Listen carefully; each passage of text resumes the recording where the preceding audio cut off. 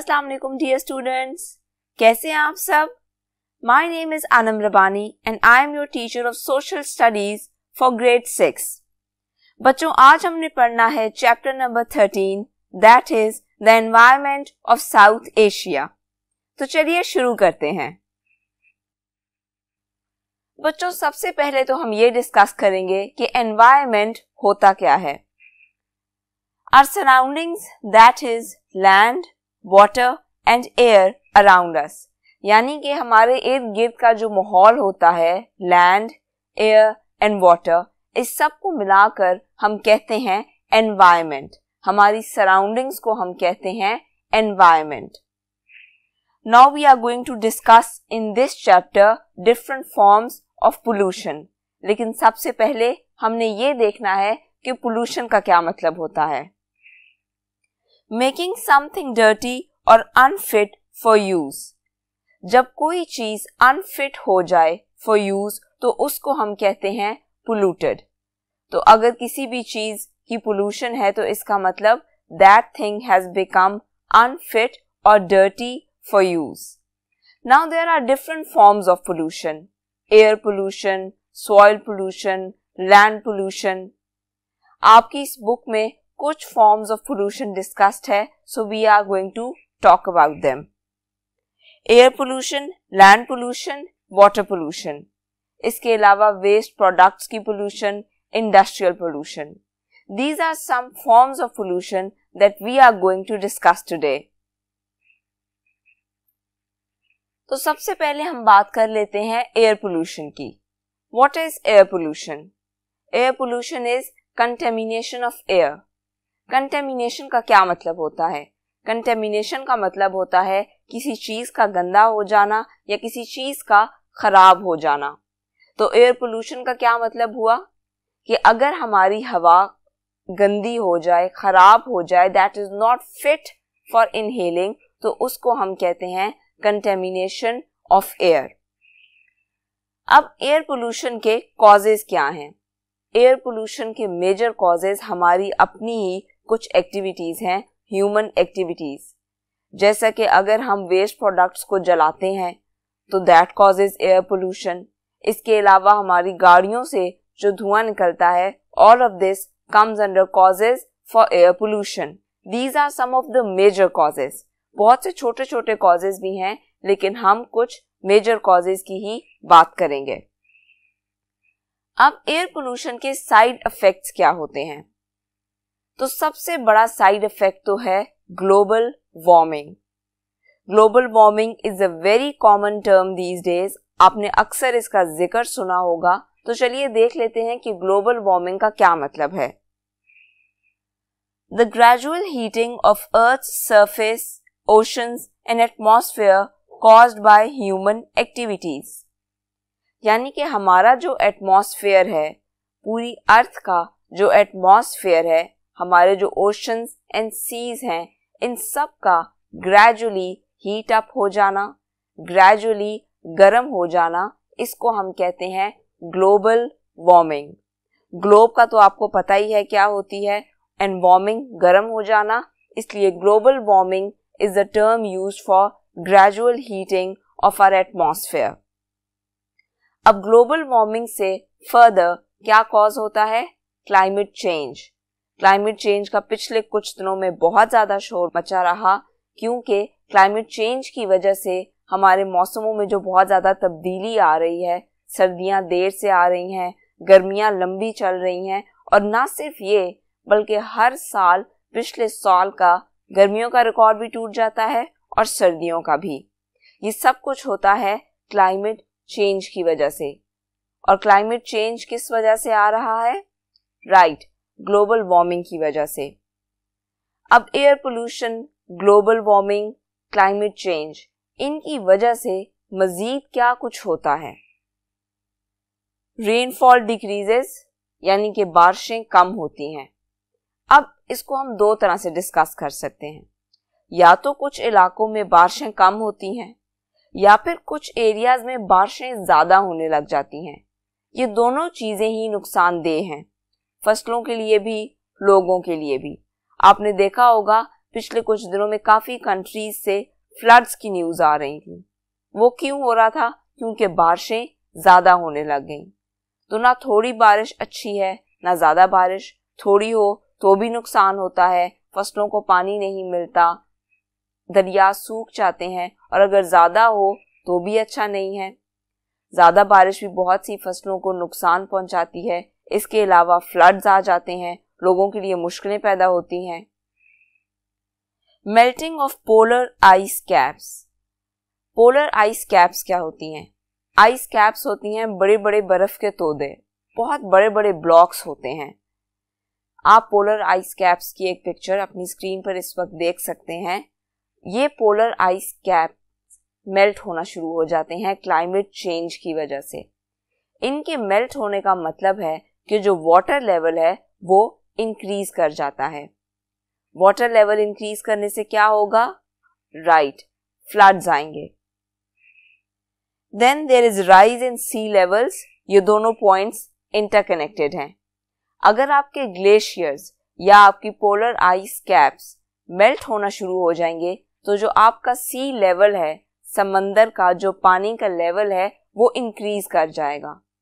उससे दोबारा फ्लड्स आएँगे, नुकसान होगा। कभी कभार बहुत बड़े बड़े फ्लड्स भी आ जाते हैं लाइक सुनामी या फिर छोटे मोटे फ्लड्स भी, लेकिन नुकसान बहुत सा हो जाता है। Then there is rise in global temperature बच्चों, आपने देखा होगा कि हर साल, पिछले साल से ज़्यादा गर्मी पड़ती है। पहले सितंबर, अक्टूबर तक सर्दियाँ आ जाती थी। काफ़ी सर्दी पड़ जाती थी।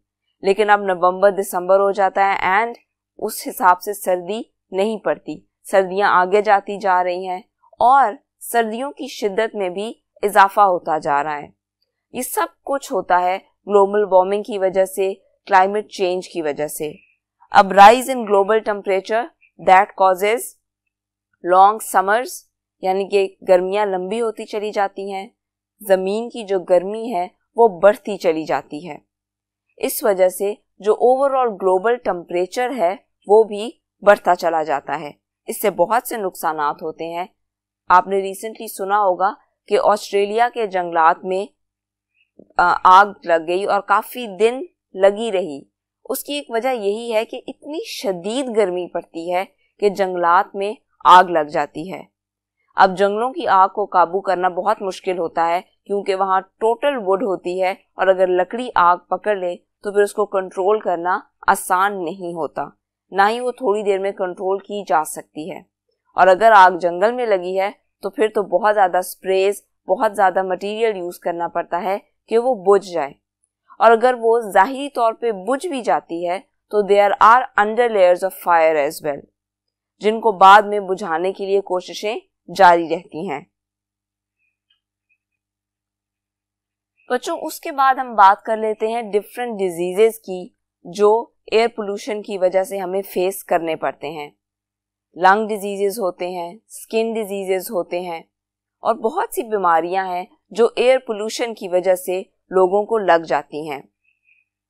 Then depletion of ozone layer अब ओजोन लेयर क्या है?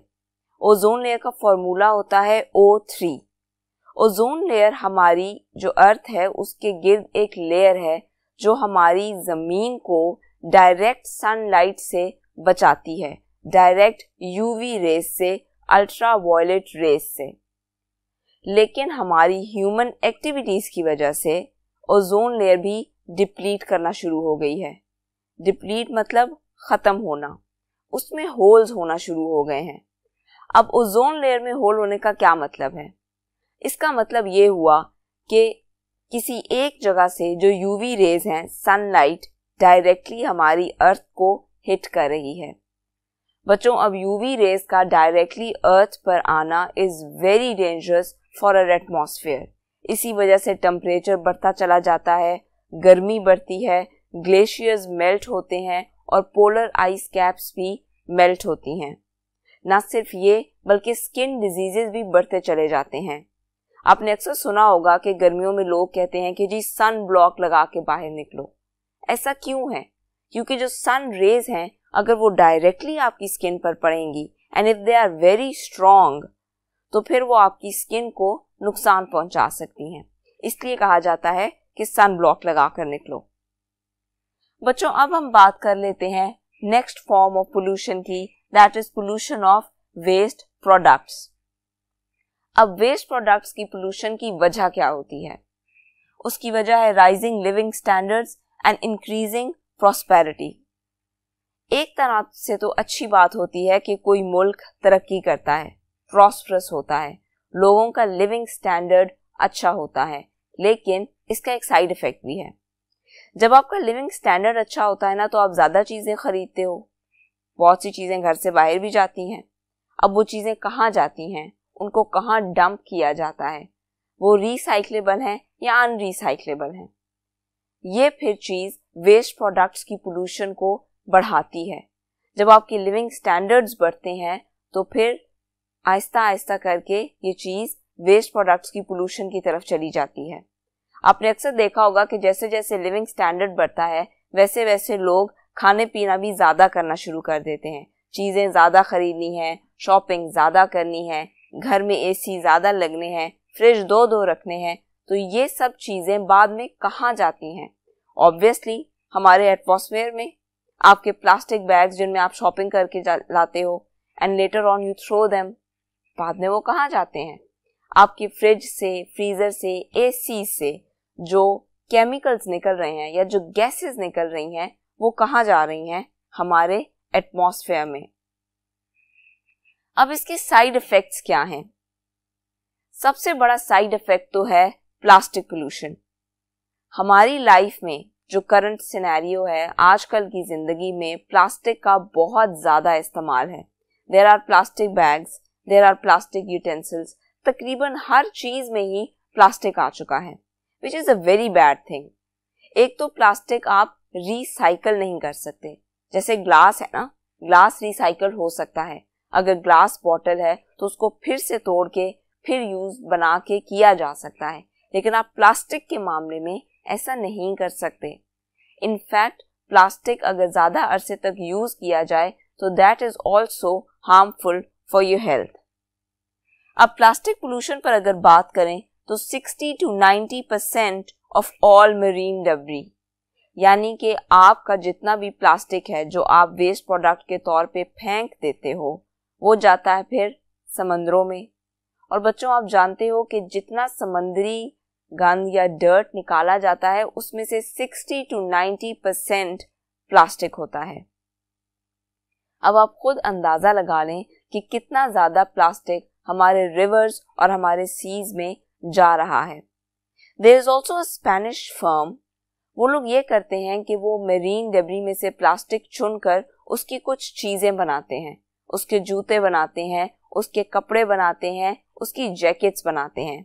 लेकिन फिल वक्त ऐसा कोई प्रोजेक्ट पाकिस्तान में शुरू नहीं हुआ। Use of recyclable and unrecyclable materials अब अगर इस चीज़ के सोल्यूशन की तरफ़ हम थोड़ा बहुत जाएँ तो बेहतर ये होगा कि अगर आपने वेस्ट प्रोडक्ट्स की पोल्यूशन को कम करना है तो आप ज़्यादातर ऐसे मटेरियल्स यूज़ करो जो रिसाइक्लेबल हो। यानी कि ग्लास यूज़ किया जा सकता है। इसी तरह आप पेपर को ज़ाया मत करो पेपर को री यूज़ करने की कोशिश करो। देर आर डिफरेंट टेक्निक्स आप घर पे भी ये टेक्निक्स यूज़ कर सकते हो, जिसमें पेपर को रिसाइकल किया जाता है। उसको दोबारा से थोड़ा सा बना लिया जाता है। वो कोर्स होता है बट इट इज़ रीयूजेबल इसके अलावा इंसनरेटर्स फर्नेस फॉर बर्निंग अब आपके घरों से जो वेस्ट प्रोडक्ट निकलता है, वो नॉर्मली जाता है उन डंप साइट्स पे जो आपके शहरों से थोड़ा सा दूर बनाई जाती हैं। वहाँ पे ये सारा वेस्ट मटेरियल डंप किया जाता है। इसके भी बहुत से नुकसान हैं। एक तो वहाँ से जो स्मेल्स उठती हैं, वो आपके लिए नुकसानदेह हैं। उसके अलावा वो जो मटेरियल होता है, वो ग्रेजुअली हमारी सॉइल में मिलता चला जाता है।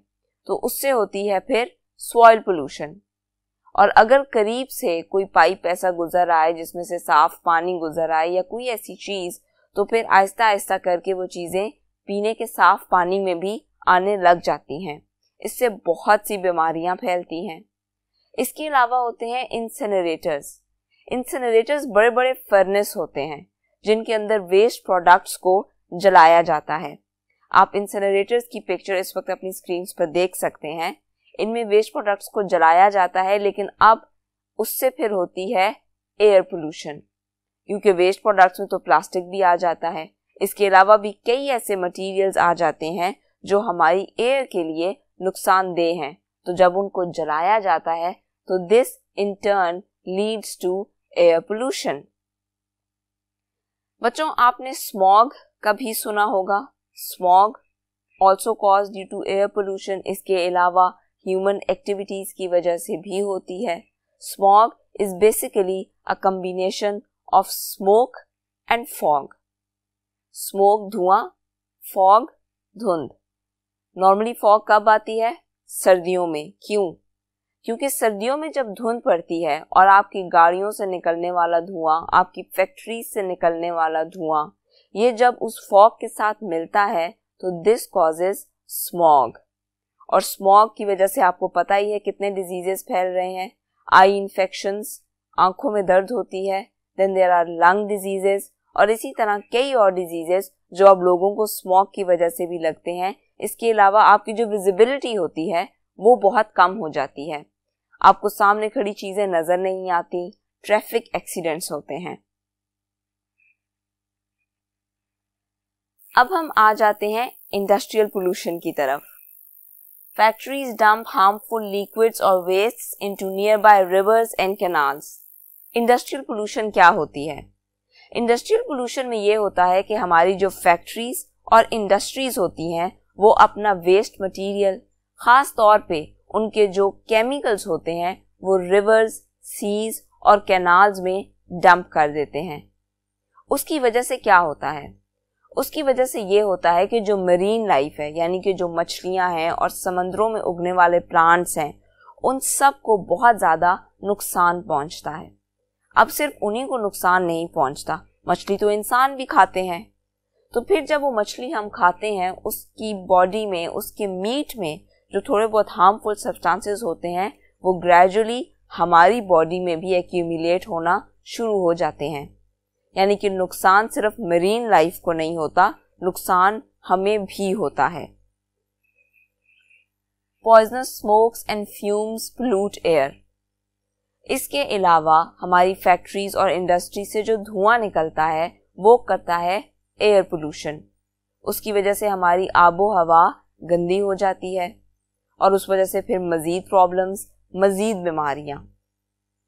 2017 में एक कॉन्फ्रेंस हुई थी in Paris it is usually called Paris accord जिसमें ये डिसाइड किया गया था कि हर फैक्ट्री जो कार्बन का एमिशन है, उसको कंट्रोल करेगी. अभी तक एज सच कोई खास स्टेप्स इस मामले में नहीं लिए गए, क्योंकि अगर आप कार्बन के एमिशन को कंट्रोल करना शुरू करो तो ये प्रोसेस भी काफ़ी महँगा पड़ता है फैक्ट्रीज को. इसलिए ये स्टेप्स अभी लिए नहीं गए लेकिन इस पर काम हो रहा है। अब हम बात कर लेते हैं डिजीजेस की। Obviously I have told you before lung diseases होते हैं आपको, आपकी आईज इन्फेक्शन होते हैं स्किन डिजीजेस होने लग जाते हैं लोगों को स्टमक प्रॉब्लम्स रहने लग जाते हैं। ये सब कुछ क्यों है? Because of different forms of pollution पिछले कुछ अरसे में एक न्यूज़ ये भी थी कि ब्रिक किलन्स पर बैन लगाया जा रहा है। क्यों? क्योंकि उनमें से जो धुआँ निकलता है, उसकी वजह से भी बहुत ज़्यादा पोल्यूशन होती है। फिर ये भी देखा जाना चाहिए कि जो फैक्ट्रीज इंडस्ट्रीज़ या ब्रिक किलन्स लगाई जाएँ, वो नॉर्मली उन इलाकों से दूर लगाई जाएँ, जहाँ पे लोग रहते हों। अगर ऐसा नहीं होगा तो जो भी इर्द गिर्द के लोग हैं, उनकी सेहत बहुत जल्दी ख़राब होती है। उनको स्किन डिजीजेस होने लग जाते हैं लंग डिजीजेस होने लग जाते हैं। कई बार ऐसा होता है कि अगर कोई एक स्पेसिफिक इंडस्ट्री लगी हुई है, जैसे आप कह लें लेदर टैनिंग यानी कि लेदर को कलर करना, और उसके करीब कोई गाँव है या कोई छोटा मोटा कस्बा भी है तो वहाँ तकरीबन हर दूसरे शख्स को कोई ना कोई बीमारी लगी हुई होती है। अपेरेंटली समझ नहीं आता क्यों, लेकिन उसकी एक वजह यही होती है कि वहाँ की जो एयर है दैट बिकम्स पोल्यूटेड बच्चों तो ये थी डिफरेंट फॉर्म्स ऑफ़ पोल्यूशन हम नेक्स्ट लेक्चर में डिस्कस करेंगे कि इन डिफरेंट फॉर्म्स ऑफ़ पोल्यूशन को कंट्रोल करने के लिए क्या किया जा सकता है। आप चाहें तो आप ये चीज़ इंटरनेट पर सर्च कर सकते हैं। इसके अलावा कोशिश कीजिएगा कि आप डिफरेंट फॉर्म्स ऑफ़ पोल्यूशन के बारे में खुद भी सर्च करें और आप खुद भी कोशिश करें कि आप पोल्यूशन को थोड़ा बहुत कंट्रोल करें। Like if you are going to visit a place a beach a zoo और एनी फॉरेस्ट तो प्लीज़ इस बात का ध्यान रखिएगा कि आप गंद को इधर उधर ना फेंकें, जो प्रॉपर डंपिंग प्लेस है, उस पर फेंकें। आपको पता है कि बाहर के मुल्कों में जूज में भी एनिमल्स का बहुत ज़्यादा ख्याल रखा जाता है। वहाँ पे प्रॉपर बोर्ड्स लगे हुए होते हैं कि आप खाने पीने की चीज़ें इधर उधर ना फेंकें, क्योंकि इससे जानवरों को नुकसान पहुँचता है। तो फिर हमने भी तो ख्याल करना है ना, अपना भी और अपने एनवायरनमेंट का भी। इसलिए आपने ऐसे स्टेप्स सोचने हैं जिनसे पोल्यूशन को कम किया जा सके। अपना बहुत सा ख्याल रखिएगा। अल्लाह हाफिज़।